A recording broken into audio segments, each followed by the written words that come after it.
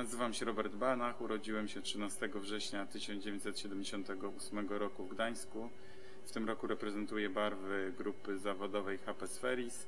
Chciałbym e, w tym sezonie walczyć o czołowe miejsca w każdym maratonie, a także pomóc drużynie w odniesieniu końcowego sukcesu.